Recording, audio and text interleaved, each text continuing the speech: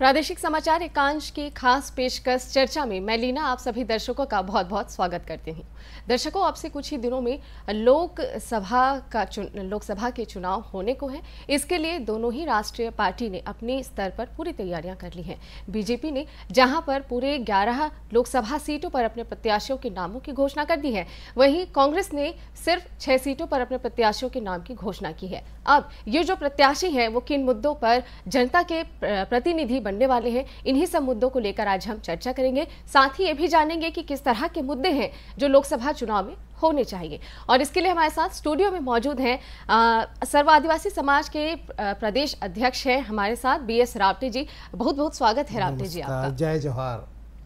साथ ही हमारे साथ स्टूडियो में राजनीतिक विश्लेषक के रूप में प्रोफेसर अजय चंद्राकर जी भी मौजूद हैं। बहुत बहुत स्वागत है सर आपका भी तो चलिए दर्शकों चर्चा की शुरुआत करते हैं और सबसे पहले मेरा सवाल प्रोफेसर साहब से। प्रोफेसर साहब जो चुनाव होने को हैं ऐसे में अगर देखा जाए तो मेन जो मुद्दे हैं किस तरह के होने चाहिए लोकसभा चुनाव के मद्देनजर? देखिए लीना जी हम्म, हम्म। भारतीय लोकतंत्र की यह खूबसूरती रही है। हम्म। कि अलग अलग चुनाव में जब भी हमारा देश गया तो राजनीतिक दल अपने अपने विषयों को चाहे अलग अलग समय पर अलग अलग एंगल से रखने का प्रयास किए। लेकिन अभी जो नज़र आ रहा है इलेक्शन कमीशन अभी चुनाव की तिथि घोषित नहीं की है। लेकिन मुझे संविधान सभा में इतिहास के पन्नों को पलटते हैं। तो डॉक्टर अंबेडकर जी नेहरू जी से संवाद किए थे। अब बोले कि राजनीतिक स्वतंत्रता तो मिल गई। सबको एक वोट देने का अधिकार मिल गया। हम्म। लेकिन जब तक सामाजिक और आर्थिक स्वतंत्रता नहीं मिलेगी तो इस लोकतंत्र को परिपक्व लोकतंत्र नहीं कहा जा सकता।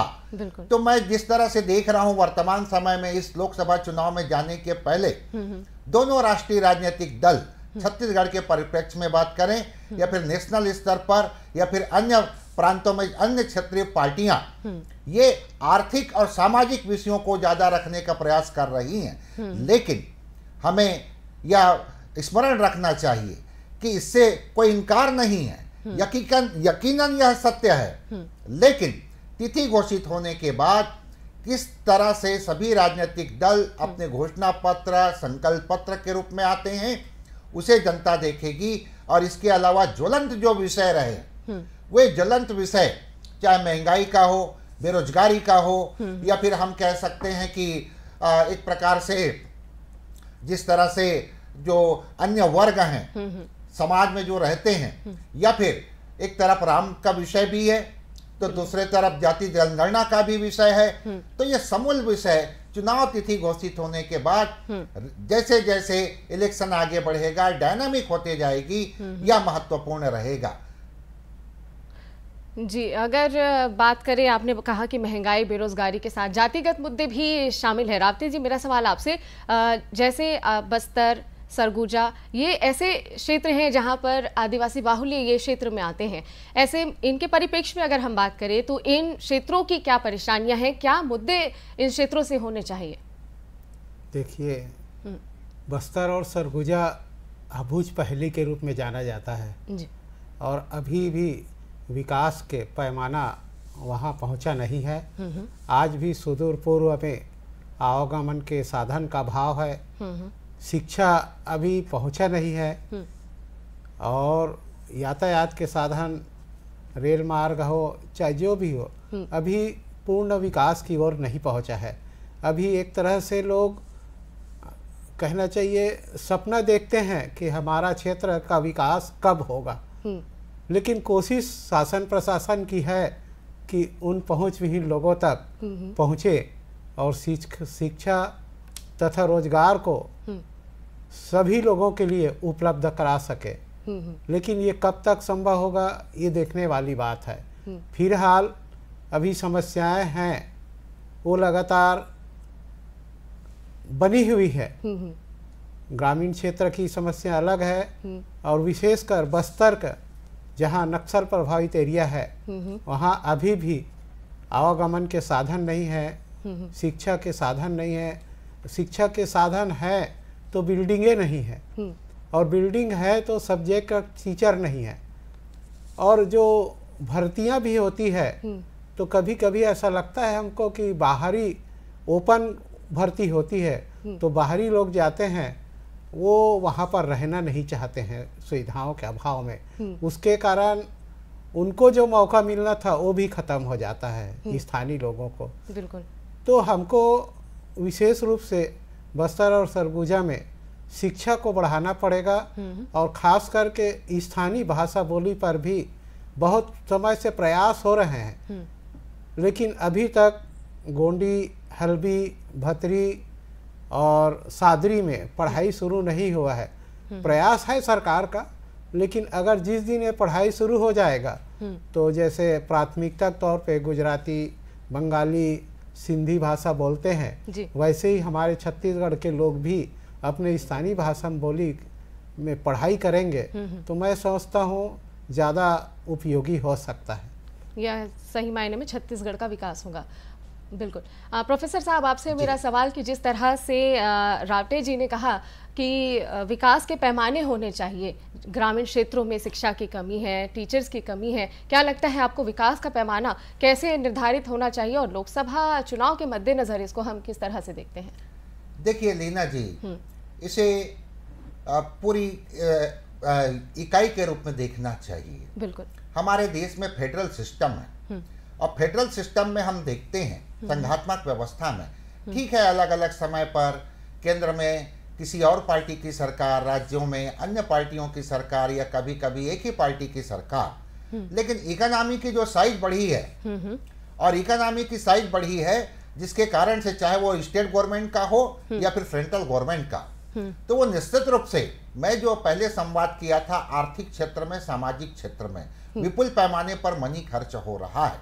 अब विकास का जो मॉडल है जिसमें इंफ्रास्ट्रक्चर भी है तो सर्विस सेक्टर भी है।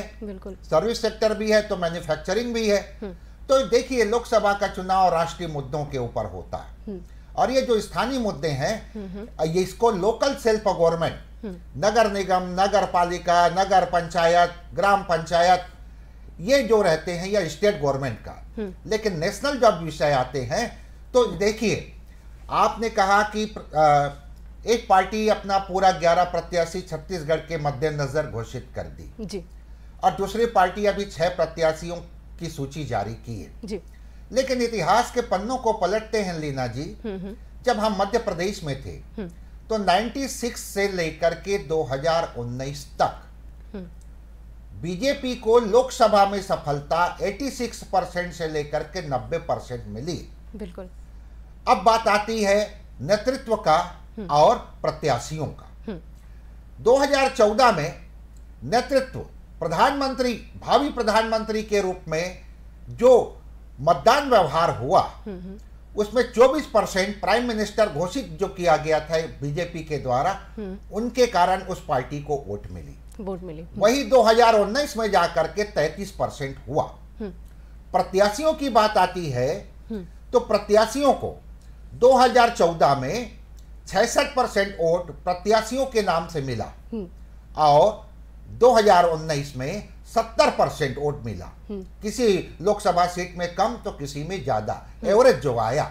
अब यहाँ पर मूल बात यह है कि दोनों पॉलिटिकल पार्टियाँ राष्ट्रीय लेवल पर जैसे छत्तीसगढ़ के परिवेश में चर्चा करते हैं तो मुझे लगता है कि इस समय कांग्रेस भी जो छह प्रत्याशियों का घोषणा की है उसमें से पाँच को तो कह सकते हैं कि वो फाइट करेंगे।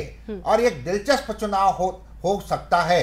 और यह भी हो सकता है बाकी जो प्रत्याशियों की घोषणाएँ होंगी लेकिन यह तो सच है स्टेट गवर्नमेंट अभी तीन महीने में अपना जिस तरह से परफॉर्मेंस दिखाई है और दो पर्टिकुलर तीन विषयों को जो एड्रेस की हम्म। खास तौर से किसानों को इकतीस सौ रुपए का इसके पहले भूपेश जी के शासनकाल में हम्म। राजीव गांधी किसान न्याय योजना हम्म। तो धान यहाँ का प्रमुख मुद्दा रहा है और ये आज का नहीं अजीत जोगी जी जब प्रथम प्रधानमंत्री मुख्यमंत्री बने वहाँ से स्टार्ट हुआ था दूसरा जो था जो महतारी वंदन योजना में जो राशि रिलीज़ की गई तीसरा है यहाँ पर जो पीएम आवास वाली जो बात थी मुद्दे रहे हम्म। ये प्रमुख हैं लेकिन हम्म। यहाँ इस चुनाव में बड़े पर्सनालिटी चुनाव मैदान में दिखाई दे रहे हैं हम्म। तो दिलचस्प हो सकता है चुनाव। और 10 साल में केंद्र में जो सरकार रही है उनका एंटी इंकम्बेंसी भी दिखाई दे सकता है लेकिन बीजेपी अपने मल्टीपल प्रोग्राम्स को लेकर के चुनाव में जा रही बिल्कुल। वो सामाजिक और सांस्कृतिक सांस्कृतिक में धर्म भी जुड़ा हुआ। इन सब विषयों को ले रही लेकिन मल्टीपल प्रोग्राम्स अब यहाँ पर जो विपक्षी पार्टियाँ हैं वो किस तरह से ऐसे विषयों को एड्रेस करती हैं यह महत्वपूर्ण होगा। बिल्कुल। रावटे जी आपसे मैं जानना चाहूँगी कि छत्तीसगढ़ धान का कटोरा कहा जाता है। किसानों को बहुत ज़्यादा यहाँ पर प्राथमिकता दी जाती है। ऐसे में आपसे मेरा सवाल कि लोकसभा चुनाव में किसानों के मद्देनज़र क्या कुछ परेशानियाँ हैं? किसानों के क्या मुद्दे हैं जो निकल कर सामने आता है या एक मुद्दा यूँ कहें बनाया जा सकता है? देखिए किसान छत्तीसगढ़ सरकार को बनाता है और छत्तीसगढ़ में समय समय पर प्रशासन को भी बदल देता है। क्योंकि यहाँ मूल रूप से किसान ही है यहाँ पर। हम्म। और किसान आधारित चुनाव हुए हैं हम्म। और जो एस एम एस पी लागू होता है धान का मूल्य हम्म, उसके कारण पिछले रमन सरकार वापस हुआ था। उन्होंने पूरा पैसा नहीं दिया था और जो बोनस था उसकी राशि नहीं दिया था। इस मुद्दे को कांग्रेस ने उस समय ज़बरदस्त ढंग से उठाया 2018 में और वापसी किया था। लेकिन अभी फिर से बीजेपी की सरकार आई है वो किसानों के मुद्दे को लेकर ही आई है। आज एमएसपी जो इकतीस सौ रुपये में धान खरीद रहे हैं लेकिन स्थानीय पार्टियों ने भी काफ़ी इस पे घोषणाएँ की थी। लेकिन उस पर जरा ध्यान नहीं दिया गया है। जैसे छत्तीसगढ़ में उभरता हुआ हमारा राज पार्टी था उन्होंने चार हज़ार रुपया प्रति कुंटल की बात की थी। और अगर उसको देखें तो आज अगर चार हज़ार रुपया प्रति कुंटल खरीदते तो अभी नौ सौ रुपया प्रति कुंटल का नुकसान हो रहा है किसानों को। ये विश्लेषण की बात है और इसको देखना चाहिए। और अभी वर्तमान में जो चल रहे हैं किसानी के बाद वो लगातार बहुत दूर तक तो नहीं पहुँचा है लेकिन गाँव में जो फ़सल था आ, धान के बाद जो अन्य फ़सलें हैं उसका उत्पादन भी बढ़ा है।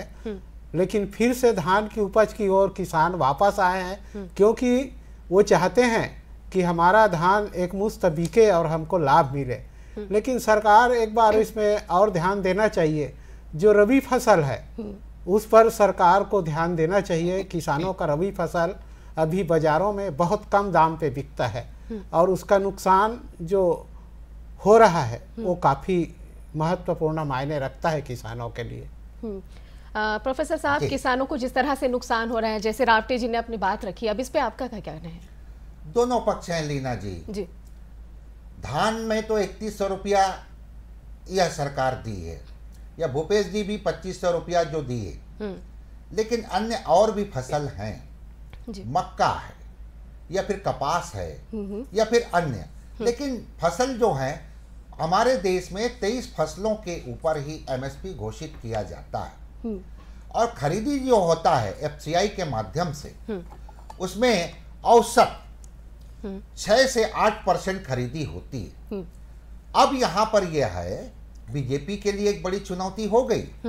भूपेश जी के समय छत्तीसगढ़ मॉडल की बात हुई। हम्म। डॉक्टर रमन सिंह जी के समय पीडीएस मॉडल की बात हुई। विष्णुदेव साय जी के समय ये मॉडल हम्म। इकतीस सौ रुपए का। तो किसान जो बॉर्डर में बैठे हुए हैं हम्म। अन्य प्रांतों के वो भी अपेक्षा करते हैं क्योंकि सेंट्रल में आपकी पार्टी की सरकार तो आप जब अपने एक प्रांत में दे सकते हो छत्तीसगढ़ में तो हमें भी दे दीजिए।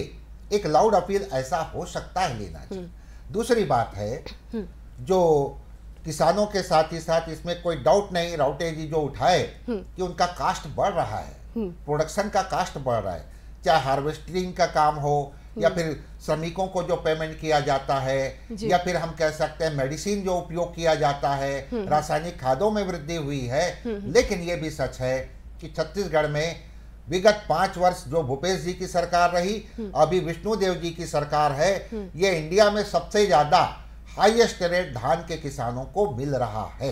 बिल्कुल। पहले कहा जाता था कि आ, उत्तम खेती निकृष्ट नौकरी और राउटे जी जिस तरह से कह रहे थे तो यहाँ रकबा बढ़ी है पढ़े लिखे नौजवान एग्रीकल्चर यूनिवर्सिटी के ग्रेजुएट नौजवान भी उनके पास ज़मीन भी नहीं है। लेकिन वो रेक से लेकर के कर रहे हैं तो एक एटमोस्फियर तो बना। अब दूसरी बात है आज किसानों की चर्चा हो रही। जी। तो अभी भी गोठान जो है उसको रिसफल करने की आवश्यकता है। उसको और मॉडर्न बनाने की ज़रूरत है क्योंकि अभी भी फ़सलों की चरी हो रही है। और जिस समर सीज़न के क्रॉप की बात राउटे जी कर रहे थे उनको बचा पाना कठिन काम है। हम्म। रत जगह किसान करते हैं हम्म। तो इसके ऊपर भी फोकस हो। अब दूसरी बात मैं आता हूँ हम्म, जो सबसे महत्वपूर्ण है। देखिए आम नागरिकों को यह नहीं लगना चाहिए कि प्रशासनिक आतंकवाद हो सरकार योजनाएँ बनाती हैं। उन योजनाओं के ऊपर आज बहुत अच्छा लगा।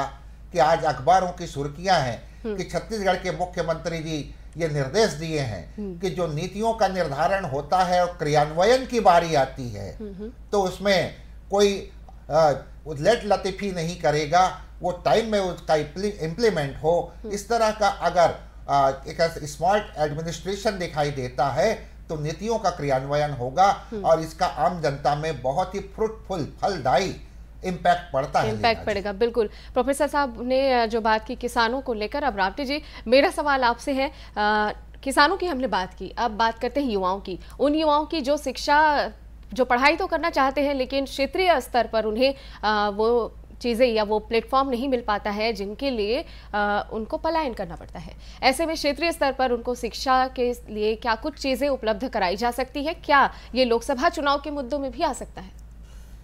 देखिए लीना जी हम्म। छत्तीसगढ़ स्तर पे कोशिश तो सरकारों के द्वारा बहुत किया गया है। जी। लेकिन जितने दूर तक पहुँचना चाहिए शिक्षा का स्तर हम्म, हम्म। और पहुँच वहाँ तक नहीं पहुँचा है।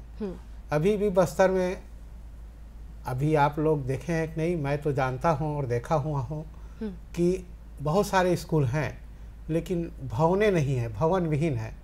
और अभी एक हफ़्ता पहले बीजापुर में उसूर ब्लॉक आवापल्ली गाँव है वहाँ से दो किलोमीटर में चिंता कोंटा गाँव है वहाँ पर पोटा केबिन में आग लग गया जी। पहले सुने थे कि भवन विहीन स्कूलों पर भवन बनाए जा रहे हैं हम्म, हम्म। लेकिन उसमें बताते हैं डेढ़ करोड़ खर्चा हुआ हम्म। लेकिन स्थायी भवन नहीं होने के कारण बहुत नुकसान हुआ है और एक बच्ची का उसमें जलकर खत समाप्त हो गई है। हम्म। तो हम चाहते हैं स्थायी बिल्डिंगें बने। हम्म।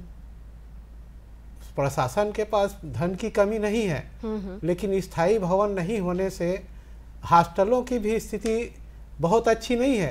रमन सरकार ने गीदम के पास जाओगा में बहुत अच्छी अच्छा स्कूल बनाया था। प्राइमरी से लेकर कॉलेज तक एक ही जगह पूरी व्यवस्थाएँ दी है।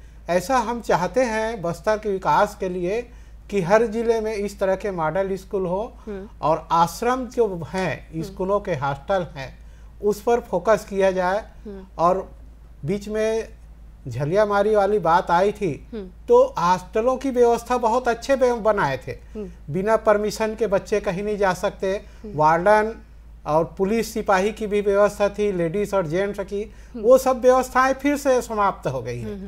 अगर ये व्यवस्थाएँ लागू होती तो अभी तीन चार जगह आपको सुनने में नारायणपुर में जाड़े कुर्सी में हम्म। और गंगालूर में जो बात आई है वो बात नहीं आती। तो इन चीज़ों को थोड़ा फोकस करना पड़ेगा हम्म। क्योंकि अभी शिक्षा उस स्तर पे नहीं पहुँचा है। हम्म। जैसे बड़े बड़े शहरों में मेट्रोपॉलिटन शहरों में आया है। अभी गाँव में है तो गाँव का स्तर और सोचने का तरीका भी बहुत छोटा है। छोटा जैसे सब्जेक्ट टीचर नहीं है। लेकिन हम सोचते हैं पूरे भारत के स्कूलों में एक साथ एजुकेशन हो। हम्म। और पीएमटी आईआईटी एनआईटी के लिए एक साथ एग्ज़ाम होता है। हम्म। तो बस्तर के लोग पिछड़ जाते हैं इसलिए कि वहाँ सब्जेक्ट टीचर नहीं है। हम्म। और स्कूलें भी सही जगह में सही समय पे नहीं चल रही है। इस पर भी हमको फोकस करना पड़ेगा।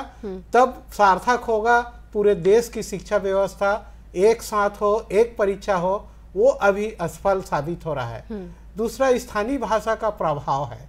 अभी हमारे बस्तर और सरगुजा क्षेत्र में हिंदी ठीक से नहीं बोल पाते हैं। तो स्थानीय भाषा पे एजुकेशन देने से वो अच्छा ग्रोथ करेगा। और उस पर फोकस तो किए हैं लेकिन अभी वहाँ तक नहीं पहुँचा है। इन चीज़ों को देखने से लगता तो है अवसर मिल रहा है। जी। साथ ही आवागमन के भी साधन आवागमन के भी साधन। जी बिल्कुल अच्छे होने चाहिए। रावटे साहब ने जो चीज़ें कही प्रोफेसर साहब जैसा कि ग्रामीण क्षेत्रों में आज भी पढ़ाई का अभाव है शिक्षा का अभाव है। ऐसे में हम रायपुर जैसे दुर्ग या बिलासपुर जैसे सिटीज़ की अगर बात करें तो हम उच्च शिक्षा के स्तर की बात करते हैं। इस पर आपका क्या कहना है? बिल्कुल बहुत बढ़िया प्रश्न है लीना जी आपका। हम्म। हमारे देश में नई शिक्षा नीति तो लागू हो गई है। हम्म। और आज टेक्नोलॉजी में जो चेंज आया है एआई हम्म। का ज़माना भी है जी। लेकिन मैं आपके साथ शेयर करना चाहूँगा हम्म, हम्म। हमारे देश में हमारे हमारी सरकार का टोटल बजट सेंट्रल गवर्नमेंट का एवरेज एक लाख आठ करोड़ आठ हज़ार करोड़ का है अब इस बजट में ये स्कूली शिक्षा के लिए भी है और साथ ही साथ हायर एजुकेशन के लिए भी है। इसी में मिड डे मील भी शामिल है हम्म। इसी में बिल्डिंगे भी शामिल है हम्म। उनका मेंटेनेंस भी शामिल है सैलरी भी शामिल अब हमारे देश में पहली कक्षा से लेकर के पांचवी कक्षा तक 97.8 परसेंट बच्चे रजिस्टर्ड होते हैं प्रवेश लेते हैं।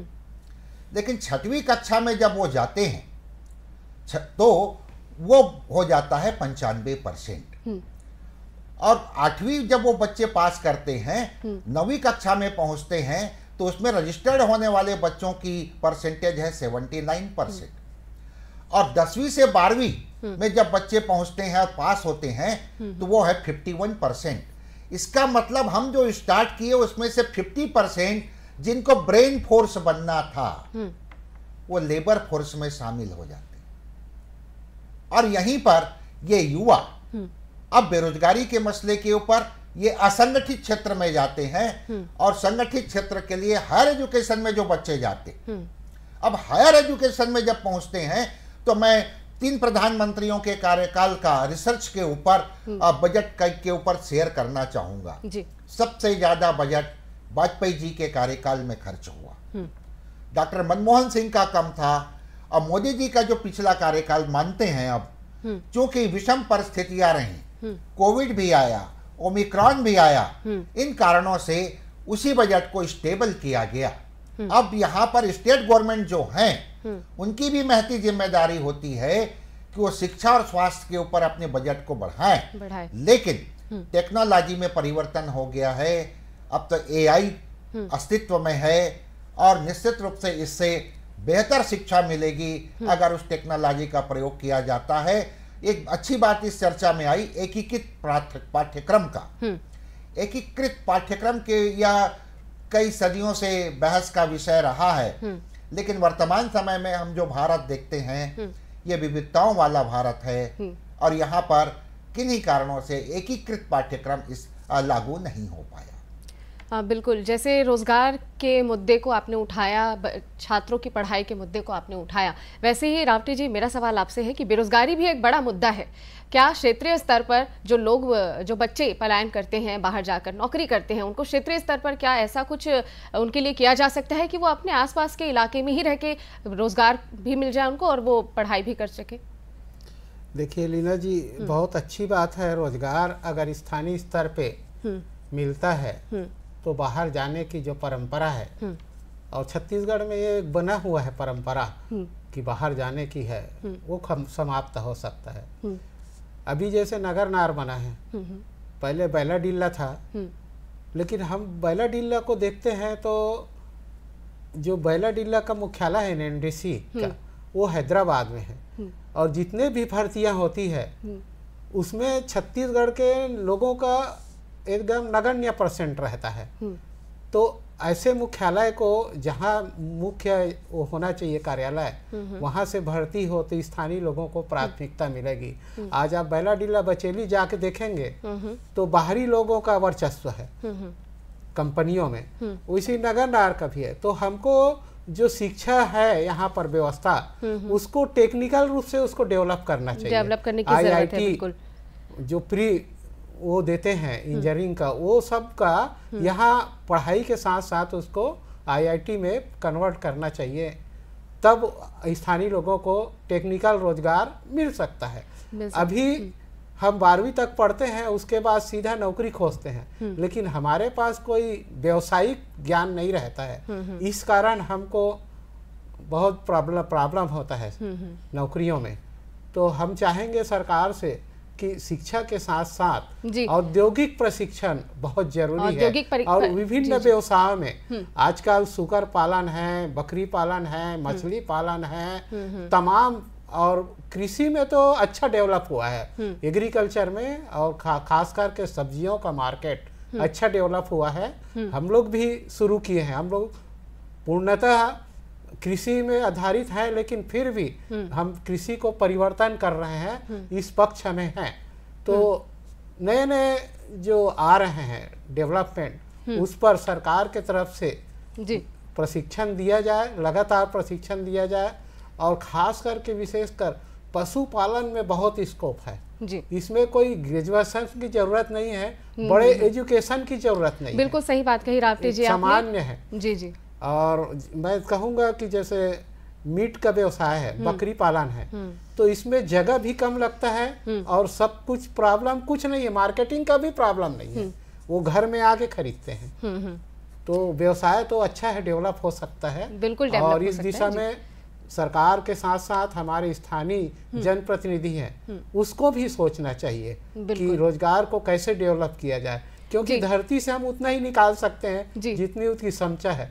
और अभी अभी आप जी वक्त की थोड़ी सी पाबंदी है। मैं चाहूँगी कि जैसा हमारे पास आखिरी मिनट जो बचा है उसमें आ, उन लोगों को मतदान के लिए कैसे प्रेरित करें? किसी संदेश के ज़रिए मैं चाहूँगी प्रोफेसर साहब उनको प्रेरणा के लिए क्या संदेश दे देखिए मतदान में भाग लेना चाहिए। हम्म। मतदान प्रतिशत तो हर इलेक्शन में बढ़नी चाहिए। जी। और जब हम देखते हैं सुदूर आदिवासी क्षेत्रों में हम्म। नदियों को पार करके पहाड़ों को चढ़ करके हम्म, हम्म। वे मतदाता अपने मताधिकार का प्रयोग करने पहुँचते हैं। हम्म। तो अर्बन एरिया में जो लोग रहते हैं वो उसे छुट्टी के रूप में उत्सव में ना डेवलप करें। उत्सव तो मतदान का है मतदान के दिन का है। तो एक जिम्मेदार नागरिक की जो भूमिका होती है उस उसका निर्वहन करें उसके बाद फिर अपने गंतव्य स्थान को प्रस्थान करें। बिल्कुल नागरिक होने की जो ज़िम्मेदारी है वो ज़रूर हमारे जनता निभाएँगे। आ, हमारे साथ चर्चा में शामिल होने के लिए हमारे दोनों ही मेहमानों का बहुत बहुत शुक्रिया। तो चर्चा के आज के विषय में आज फ़िलहाल इतना ही। मुझे दीजिए टीम के साथ इजाज़त। नमस्कार।